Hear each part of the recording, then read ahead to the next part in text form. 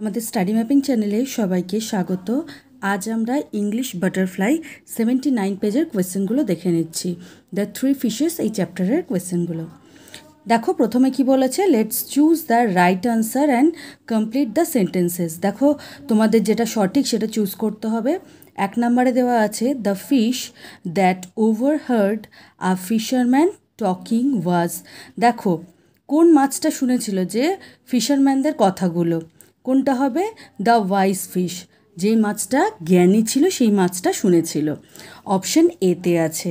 দু নম্বরে আছে দেখো the fish that wanted to leave the lake was এটা কি হবে? এটা হবে দ্য ওয়াইস ফিশ মানে জ্ঞানী মাছটি।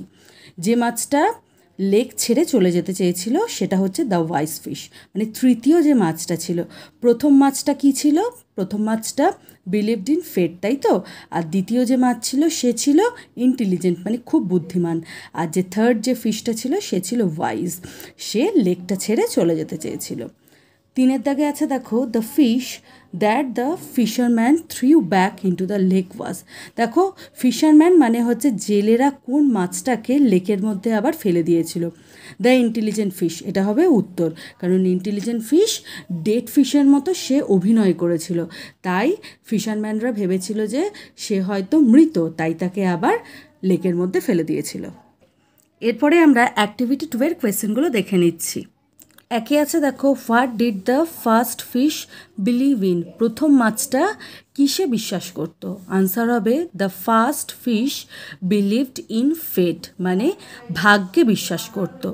দেখো, তোমাদের যে কোয়েশ্চেনটা দেওয়া আছে, সেটার টেন্সটা খেয়াল করতে হবে।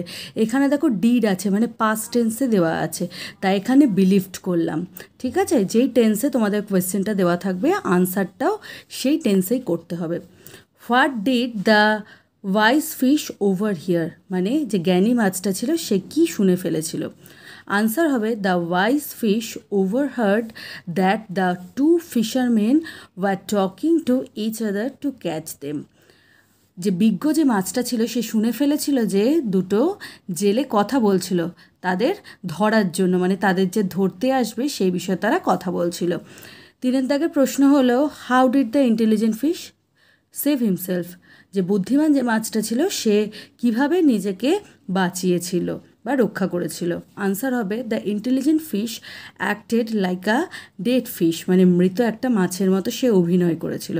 So, the fisherman threw him back to the lake তাই জেলেটি তাকে আবার লেকের মধ্যে ফেলে দিয়েছিল। In this way he saved himself এইভাবে সে নিজেকে বাঁচিয়েছিল। এরপরে আছে, দেখো, some words in the story are in red colour they all end in D or ED দেখো তোমরা বইয়ের দিকে তাকাও। পেজ নাম্বার সেভেন্টি সেভেনে দেখো রেড কালারে কয়েকটা ওয়ার্ড আছে believed overheard page number seventy এইটে আছে দেখো অ্যাক্টেড এখানে দেখো সেই সমস্ত ওয়ার্ডগুলো লেখা হয়েছে।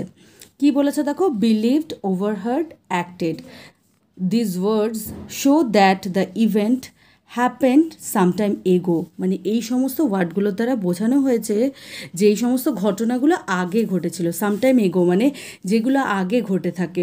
তাদের শেষে আমরা কি বসাই? ডি বা ইডি বসাই। সেগুলোকে পাস্ট ফর্মে পরিণত করে দিই। যেমন দেখো বিলিভ মানে বিশ্বাস করা মানে যেটা প্রেজেন্ট ফর্ম মানে বর্তমানে যেটা করছি, সেটা নাও আর দেন মানে ঘটে গেছিল। সেটাকে আমরা পাস্ট ফর্ম বলব বা যেটা বাংলায় বলতে পারি অতীতকাল মানে অতীতে ঘটেছিল। বিলিভ মানে বিশ্বাস করা বিলিভ মানে বিশ্বাস করতো। ওভার হিয়ার মানে শুনে ফেলা ওভার হার্ড শুনে ফেলেছিল। এটার উচ্চারণ কিন্তু হিয়ার্ড হবে না, এটার উচ্চারণ হার্ড হবে ওভার হার্ড অ্যাক্ট অ্যাক্টেড অভিনয় করা, অভিনয় করেছিল। এরপর দেখো কিছু তোমাদের ওয়ার্ড দেওয়া আছে, সেগুলোকে ডি অথবা ইডি যুক্ত করে দেনে পরিণত করতে হবে মানে পাস্ট ফর্মে টার্ন এটা কি হবে? Turn jump jumped ask ask smile smile আশা করছি তোমরা বুঝতে পেরেছ, যদি ভালো লেগে থাকে তবে অবশ্যই লাইক শেয়ার সাবস্ক্রাইব করে দিও। দেখা হচ্ছে পরের ভিডিওতে